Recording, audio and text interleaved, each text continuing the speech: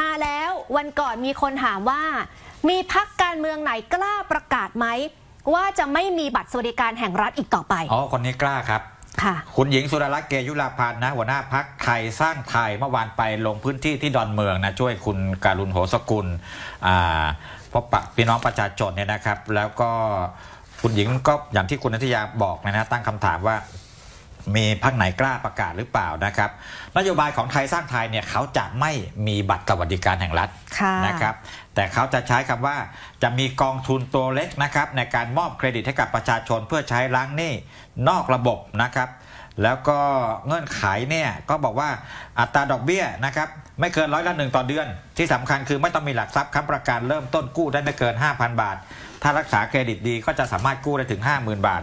ในจำจำนวนนี้อาจจะกู้ยืมไปใช้ในยามวิกฤตกู้ไปใช้ในการตั้งตัวเอาไปทุน ทุนหมุนเวียนในการประกอบธุรกิจขนาดเล็กของตนเองนะครับที่ผ่านมาเนี่ยบอกว่าการบริหารราชการแผ่นดินตลอดหลายปีที่ผ่านมามีคนจนเกิดขึ้นมากมาย ผู้ถือบัตรสวัสดิการแห่งรัฐสูงถึง 20 ล้านคนไม่ใช่เหรอ ตัวเลขไม่น่าใช่นะอืมตัวเลขล่าสุดที่ 14 ล้านค่ะ14 ล้านคนเท่านั้นเอง 20 คือคนไปลงทะเบียนอ่านะใช่คือใช่คนอยากได้บัตรสวัสดิการแห่งรัฐเนี่ย20 ล้านคน แต่ว่าผ่านเกณฑ์ขั้นแรกเนี่ย14 ล้านอ่านะนะคะแต่กับผู้หญิงก็จะบอกว่าเอามาหน้ากลมๆแล้วกัน 20อุ้ย14 กับ 20 เยอะนะคุณเออห่างกันเยอะเลยห่างกันเยอะนะอ่าอันนี้อันนี้อ่าเราก็อธิบายตัวเลขนะ และขอประกาศว่าจะไม่แจกบัตรคนจนอืมขอแจกบัตรเครดิตประชาชนทีนี้เป็นความเข้าใจของดิฉันนะอ่า คือจุดประสงค์ของบัตรสวัสดิการแห่งรัฐ กับบัตรเครดิตกองทุนคนตัวเล็กของคุณหญิงเนี่ยมันคนละคนละส่วนกัน ถ้าเป็นภาษาการตลาดว่าผลิตภัณฑ์คนละคนละหน้าที่อ่าอ่ามันคนละผลิตภัณฑ์กัน บัตรเครดิตประชาชนที่เรียกว่าเป็นเงินด่วนประชาชนเนี่ย มันก็คือการเป็นหนี้อยู่ดีไหมคะฮะเพียงแต่ว่าเป็นการเป็นหนี้ที่ดอกเบี้ยน้อยกว่าหนี้นอกระบบ แล้วก็เข้าถึงง่ายอ่าอ่าเข้าถึงง่าย อันนี้แก้ไขปัญหาคนตัวเล็กที่เข้าไม่ถึงแหล่งเงินนะคะ แต่บัตรสวัสดิการแห่งรัฐเนี่ยคนไม่ได้เป็นหนี้ไง คนไม่ได้เป็นหนี้แต่ว่าไม่มีตังค์ใช้ เออเขาก็เลยเอาเงินเติมเข้าไปในบัตรให้ เพื่อเอาไปแบ่งเบาภาระ ซื้อข้าวของกะปิน้ำปลาห ยูกยาอะไรก็ว่ากันไป มันไม่ใช่การให้เขาเป็นหนี้อะค่ะเพราะเพราะฉะนั้นเนี่ยมันไม่ใช่เป็นคู่แข่งกัน เพราะมันคนละผลิตภัณฑ์คนกันละผลิตภัณฑ์กันนะครับค่ะมันเหมือนกับเอ่อคนหนึ่งพูดเรื่องหนังนะ อีกคนหนึ่ง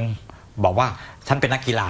โอ้มันก็เปรียบกันไม่ได้เออคนละอย่างกันเลยนะ ความสามารถมันเปรียบกันไม่ได้ เพราะมันคนละคือบัตรสวัส่สวดินการกันแห่งรัฐเนี่ยค่ะ เป็นปัจจัยพื้นฐานสำหรับผู้ที่แบบไม่มีจริงๆเนี่ยอย่างน้อยที่สุดเนี่ยคุณก็ไม่อดตายอะอืมนะแต่บัตรของคุณหญิงเนี่ยนะบัตรเครดิตประชาชนหรือเงินด่วนประชาชนเนี่ยเอาไว้สำหรับเวลาเอ่อไปชำระหนี้ไปหรือมีความจำเป็นที่จะต้องไปลงทุนไปค้าขาย หรือไปช่วยแก้หนี้อันเนี้ยช่วยได้อะช่วยแก้หนี้อ่าเป็นหนี้บัตรเอ่อเป็นหนี้นอกระบบฮะดอกเบี้ยมันสูงอะก็ไปเอาเอาบัตรเครดิตประชาชนเนี้ยเป็นเงินด่วนตรงเนี้ย เอาไป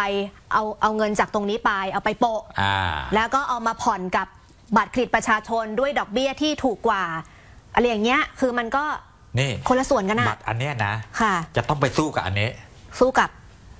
บัตรสวัสดิการแห่งรัฐไปกู้เงินได้ ของรวมไทยอ๋อสร้างชาติไงอ่าใช่ไหมอ่าอ่ามาไปอ่ากู้เงินได้ก็แต่ วงเงินไม่เกินเท่านี้แล้วก็หักค่ะออมสินหักจากอ่าผู้ถือบัตรเป็นรายเดือนไปเลยอ่าอ่านี่อันเนี้ยได้นี่เขานี่ก็ได้เบิ้ลกันไปเบิ้ลกันมาอ่าแต่อย่างกรณีของบัตรบัตรที่คุณว่าเนี่ยครับของรวมไทยสร้างชาติเนี่ยคือประชาชนมีหลักประกันอยู่แล้วไงครับนั่นคือเงินที่รัฐจะให้ในบัตรสวัสดิการแห่งอันรัฐนี้ขั้นที่หนึ่งเพราะฉะนั้นเนี่ยเขาไม่ต้องไปหาเพิ่มไงอ่าเพราะเขามีจากในบัตรอยู่แล้วอ่าแล้วธนาคารก็ไปหักมาแต่จะหักเท่าไหร่อันนั้นก็ก็ส่วนหนึ่งอ่าแต่มันคนละส่วนกันกับครับอันนี้นะ อันนี้ของคุณหญิงบัตรเครดิตประชาชนเนี่ยก็คือประชาชนก็ต้องไปหาเงินมาจ่ายหนี้อยู่ดี แต่ก็ชัดเจนดีนะหมายถึงว่าค่ะถ้าเป็นรัฐบาลใช่ไหมก็ไม่เอาฉันจะไม่เอาเหมือนเหมือนคุณอะไรนะอุบลศักดิ์บัวหลวงนามอะสสเพื่อไทยอะแต่อันนั้นน่ะมันเป็นความเห็นส่วนตัวเนาะอ๋อมันไม่ใช่ความเห็นของพรรคนักข่าวต้องน่ะไปถามคุณอุบลศักดิ์แล้วจะเอาผลักดันให้เป็นนโยบายพรรคไหมเออนะบอกว่าอภิปรายในสภาว่าเดี๋ยวเป็นรัฐบาลเมื่อไหร่นะค่ะจะเผาเลย แต่ฟังจากคุณทักษิณคุณทักษิณบอกว่า ก็ไม่มีนะ ไม่จำเป็นเพราะว่าคนจะรวยแล้ว ใช่คนจะรวยแล้วก็จะลืมบัตรคนจนไปเลยลืมไปเลยนะค่ะเอออะ